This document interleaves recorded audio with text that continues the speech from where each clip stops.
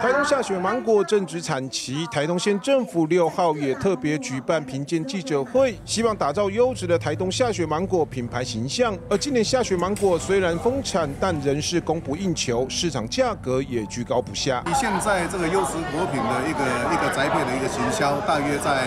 啊这个一百五十到两百元哈，那也有三四成的这个不良果哦，就是说有炭疽病或者是有这种啊这种青头的这种状况的这些这些果实。那这些果实呢，我们农会呢就会以保证价格哈，就是在符合成本的一个状况之下，以每公斤七十元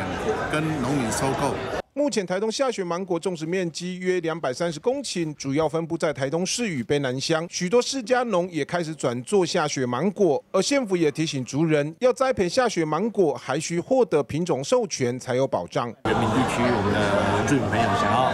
开始投资栽种下雪的话，一定要务必注意。下雪芒果园，它直接用那个扦插的方式所种出来的这一个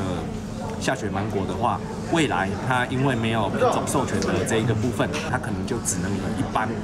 爱文甚至更低的价格来做贩售。县府表示，台东原乡地区非常适合种植下雪芒果，未来也会辅导族人栽种与申请品种授权，希望能提升原乡农业经济收益。原事情我们 g a g 的台东市采访报道。